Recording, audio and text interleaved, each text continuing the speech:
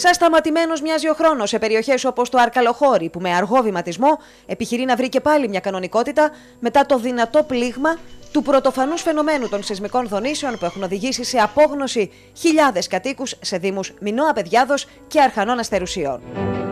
Ο μεγάλος σεισμός της 27η Σεπτεμβρίου και όσες δονήσεις έχουν προηγηθεί και έχουν ακολουθήσει, άφησαν πίσω τους τα δραματικά αποτυπώματά τους σε δεκάδες χωριά που και μόνο η θέα τους ενημωμένη προκαλεί απογοήτευση.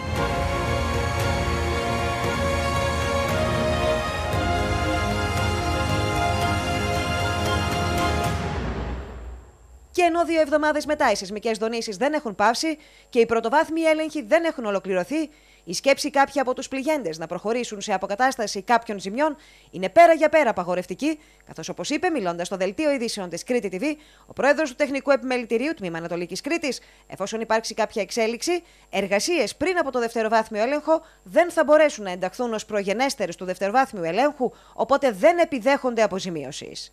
Δεν πρέπει να ξεκινήσουν εργασίες. Όχι μόνο ε, να ολοκληρωθεί ο δευτεροβάθμιος ε, έλεγχος αλλά να γίνει και σχετική ανακοίνωση για την έναρξη της διαδικασίας. Πρώτα θα κατατεθούν οι αιτήσεις και όλα τα δικαιολογητικά που πρέπει να συνοδεύουν τις αιτήσεις και στη συνέχεια θα ανακοινωθεί η έναρξη των εργασιών. Πιστεύουμε ότι η κατάθεση των φακέλων αδειοδοτήσεων θα μπορεί να γίνει και μετά νομίζω ότι θα είναι πολύ σύντομος ο, ο χρόνος. Άρα υπομονή, όπως είπαμε και άλλη φορά, θα χρειαστεί υπομονή, αλλά βλέπουμε τις διαδικασίες να κινούνται γρήγορα.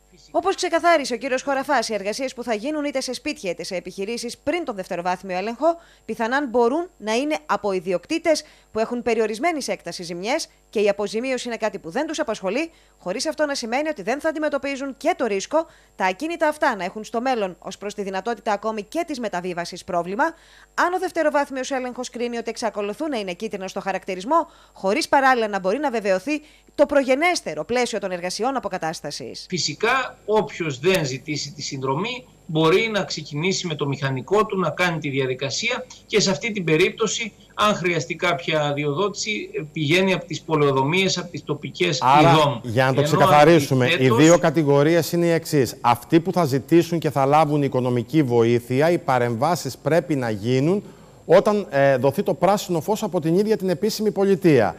Αυτοί που δεν ζητούν οικονομική βοήθεια και εφόσον έχει ολοκληρωθεί η αυτοψία στο σπίτι τους, θα μπορούν να ξεκινήσουν και τώρα τις παρεμβάσεις στο σπίτι τους, σωστά; Σωστά. Να τονίσουμε και τη διαφορά στο γραφειοκρατικό σκέλος, στο διοικητικό σκέλος, ότι όσοι δεν ζητήσουν τη συνδρομή, αν χρειάζονται κάποια άδεια, απευθύνονται στις ΙΔΟΜ, στις γνωστές πολεοδομίες. Ενώ αντιθέτως, όσοι θα ζητήσουν συνδρομή, απευθύνονται στο Υπουργείο Υποδομών, στο Τμήμα Φυσικών Καταστροφών.